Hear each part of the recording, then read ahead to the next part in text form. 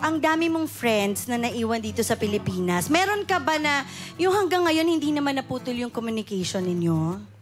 Um, meron po si especially si Kyle. Ano po, we we play uh, video games together.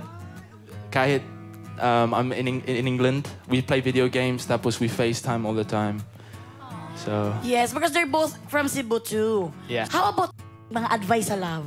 Kyle, like, Oh, is Kyle, Kyle yeah. talaga ang naging... So secret si Kyle pa din? na n- Kyle knows lahat ng mga secrets ko. Ay. Si Kyle talaga. Hanapin natin si Kyle. Oo. Ay, oo, alam mo, nakwento nga ni Kyle last time. Talaga? Yes, ito na nga.